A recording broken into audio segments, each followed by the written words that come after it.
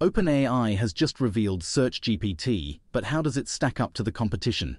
To start, SearchGPT may first displace smaller players like Perplexity and is currently available as a prototype in a limited release. The first twist is that SearchGPT still looks like any other search engine, with a large text box prompting users with the question, What are you looking for? However, the magic happens behind the scenes.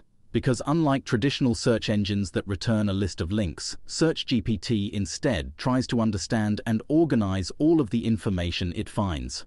For example, if you search for music festivals, SearchGPT doesn't just list websites like Google, but it instead summarizes the key details of various events and provides brief descriptions along with links for more information.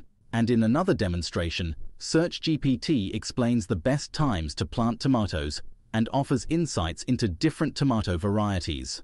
Users can also ask follow-up questions or explore additional related links displayed in a sidebar.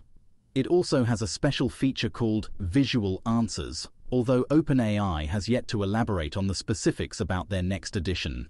As for now, SearchGPT is still labeled as a prototype, so it's still not near ready for prime time, but we do know it's powered by the GPT-4 family of models and will initially be accessible to only 10,000 test users. OpenAI spokesperson Kayla Wood emphasized that the company is collaborating with third-party partners and using direct content feeds to build its search results, with the ultimate goal being to integrate these search features directly into ChatGPT itself.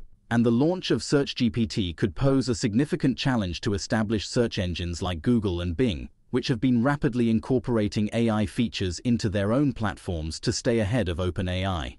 But Google's efforts indicate a clear concern that users might switch to new AI-driven alternatives like SearchGPT, Additionally, SearchGPT positions OpenAI in direct competition with Perplexity, a startup that markets itself slightly differently as an AI answer engine instead.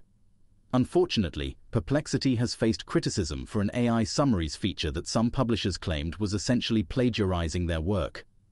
In response to this, OpenAI has chosen a different approach, emphasizing collaboration with various news partners, including major organizations like the Wall Street Journal, the Associated Press, and Vox Media. Plus, OpenAI has been proactive in addressing other potential ethical issues with SearchGPT 2, with the company having developed this search engine in collaboration with a host of news partners, ensuring that publishers have a say in how their content is used.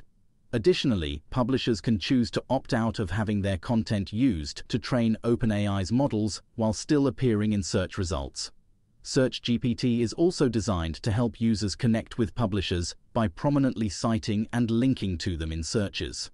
Additionally, responses have clear inline named attribution and links, so users know where information is coming from and can quickly engage with even more results in a sidebar with source links. As for cost, SearchGPT will be free during its initial launch with no ads currently in place, but OpenAI is developing a monetization strategy. Overall, the initial release of SearchGPT is intended to serve as a prototype that can undergo further testing and refinement, with OpenAI aiming to expand its user base and continue to integrate the search engine into its core chat products. And the company's focus on ethics, collaboration with publishers, and a simple interface all position SearchGPT as a potential disruption to the traditional search engine market. Meanwhile, a new method from NVIDIA's Toronto AI lab called Simplicit may forever change how we create and interact with 3D simulations. This breakthrough revolves around Simplicit's ability to handle a wide range of 3D representations without relying on traditional datasets or meshes, using cutting-edge neural fields instead. This means that Simplicit can simulate everything from complex geometries and point clouds to tomography scans and even neural representations, all while accurately considering physics-based material properties. But what makes Simplicit truly remarkable is its raw versatility. For example, it can simulate an entire dataset of objects using just one object representation and an occupancy function, which determines whether any given point in 3D space is inside or outside the object. Each point within the object is managed by a combination of weights and skinning handles, much like how animations control characters in video games. On top of this, the weights across the object are represented by a continuous function which can be evaluated at any resolution. To this, a neural network is trained to approximate this function, mapping 3D points to a vector of weights for each control handle. This training process uses a simple loss function over spatial sample points, ensuring accurate representation of the object's interior. But one of Simplicit's most groundbreaking features is its data-free training process. Unlike traditional methods that require extensive pre-existing data, Simplicit generates deformations on its own by sampling affine transformations. It uses advanced mathematical methods, such as Newton's method, to solve the equations that describe how objects deform over time. These simulations are highly efficient, running at near interactive speeds on modern GPUs like the RTX 3070. Additionally, Simplicit can even simulate realistic material behaviors using parameters like neo-Hookean elasticity.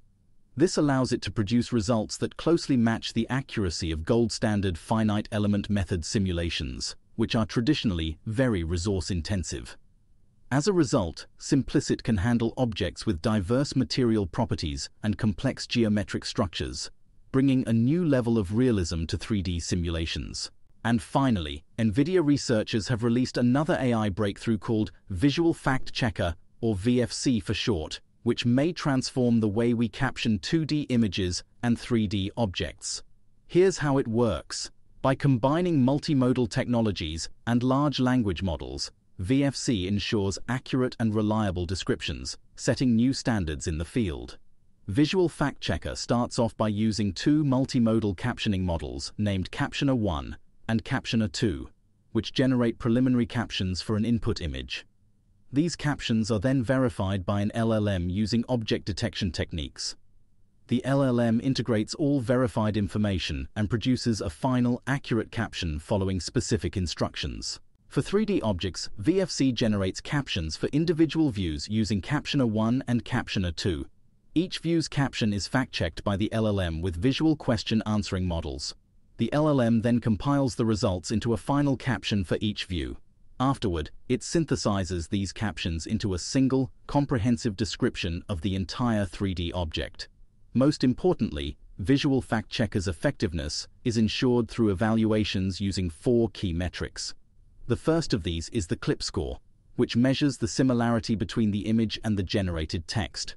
Second is the CLIP image score, to assess the similarity between the original image and a reconstructed image created from the caption. Third is the human study stage where human evaluations via Amazon Mechanical Turk are carried out, and the fourth is the use of GPT-4V for vision. In evaluations for 2D images, VFC excels on the COCO dataset, whereas for 3D objects, it demonstrates superior performance on the Objaverse dataset.